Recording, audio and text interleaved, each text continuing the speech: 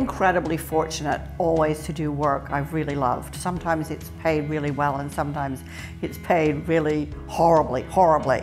But I've always done work that I loved and I have found in the work that I've done incredible self-fulfillment and I've, you know, I know from many of my employees that they have had the same experience. I would like everybody to have that same experience.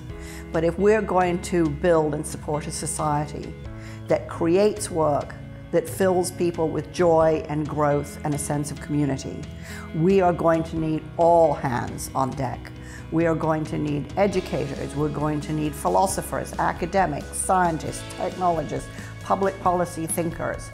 We're going to need all, you know, parents, we're going to need kids. We need everybody to focus on what is it we want the future of work to look like for everyone so that anybody you stop in the street will say the same as I've had, you know, the same thing that I've said, which is, I love my work. The first thing that really concerns me is our schools are completely unprepared for the future of work as it is going to be for our kids and our grandkids. They're teaching old-fashioned curricula, old-fashioned skills in old-fashioned ways. This is not going to be solved by just handing everybody out iPads. We need to be teaching different things in different ways with different relationships between teachers and students and parents. That I think is the number one issue.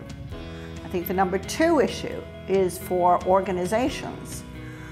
With this new technology and these new kinds of intelligence, what is the role of humans and therefore what is the job of leadership?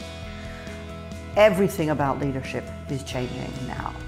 Um, many leaders just keep hankering for a return to the good old days of the early noughties. A few that I see are radically questioning everything they do and the way that they do it. And I think we need collectively to think hard about the relationship between leaders and employees and companies and the society that those companies serve. And I think the third thing then is what is the role for public policy in all of this?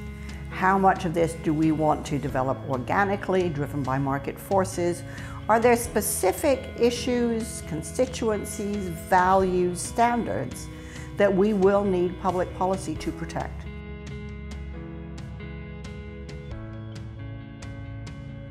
I think technology is the most obvious force that's changing this.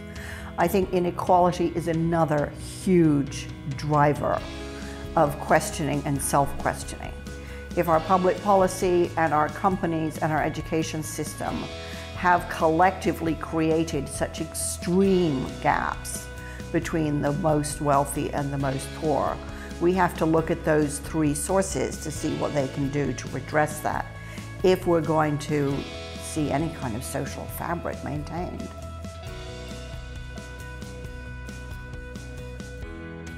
Well, we're clearly going to need a radically different kind of education system. And somebody's going to have to de design that. Now, again, we can leave that to market forces and just hope that if a thousand flowers bloom, a few of them are functional.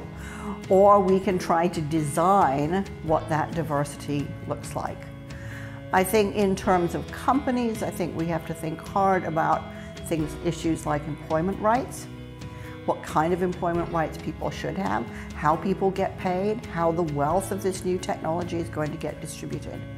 And in terms of public policy and lawmaking, it's very clear that all of these new technologies raise huge issues, not just around privacy, but about the ownership of intellectual property, the sharing of abundance, um, and kind of what constitutes work and who pays for it if it's being done by a non-human. I mean, it's interesting because when people talk about diversity, you know, and especially when I talk about diversity, people think, oh, you mean women, you know, it's code for women. And it's not true, actually. I think it's really important that kids are part of this debate. I think the whole relationship between kids and, and teachers is up for re-examination. I think we need to talk to the young and the old. I think we need to talk to the professional and the craftsman. I think we need to talk to you know everybody who is touched by the world of work, both those who serve and those who are served, because all of us depend for our lifestyles, for our living, on the contribution of everybody around us. You know, if you turn the tap and the water runs, somebody made that happen, and we depend on those people.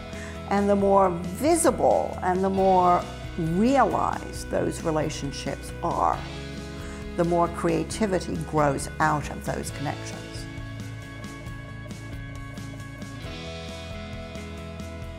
My daughter started university this week, and she wrote me a letter, and she said, It's the first time in my life where when people told me I was creative, they didn't mean weird.